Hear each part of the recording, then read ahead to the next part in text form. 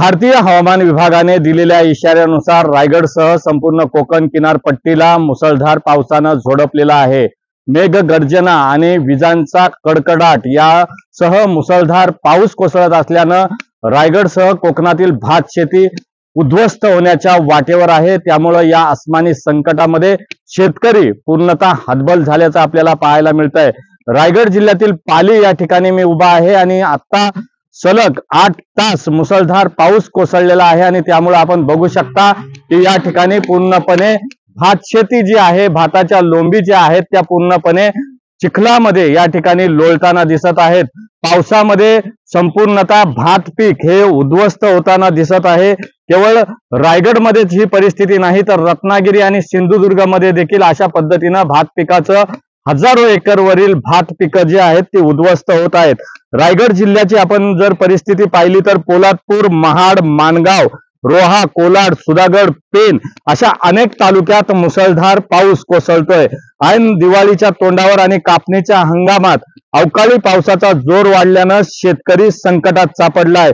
सोन्यासारखी बहरलेली उभी पिकं ही परतीच्या पावसाने चिखलात आडवी झालीत.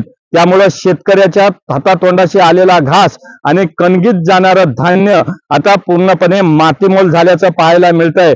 कोकणात विजांच्या कडकडाटासह काल रात्रीपासून आतापर्यंत पाऊस कोसळत आहे. रत्नागिरीसह सिंधुदुर्ग जिल्ह्यामध्ये देखील मोठ्या प्रमाणावर पाऊस कोसळतोय.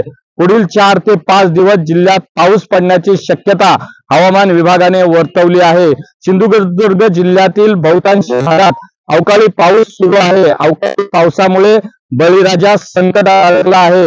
भात शेतीला अवकाळी पावसाचा मोठा फटका बसण्याची चिंता वर्तवली जात आहे. आपण बघाल तर कुडाळ सावंतवाडी वेंगुर्ले तालुक्यातील अनेक ठिकाणी देखील विजांच्या कडकडाटसह अवकाळी पावसाची हजेरी पाहायला मिळत आहे रायगडात आपण जर बघितलं तर हजारो एकरवर भात पीक जे आहे या भात पिकाला आत्ताच्या परतीच्या पावसाचा मोठा धोका निर्माण झालेला आहे.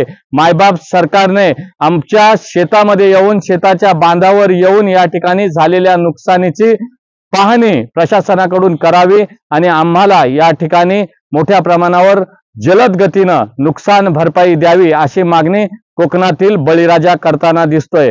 रायगडहून धम्मशील सावंत न्यू स्टेट महाराष्ट्र गोवा.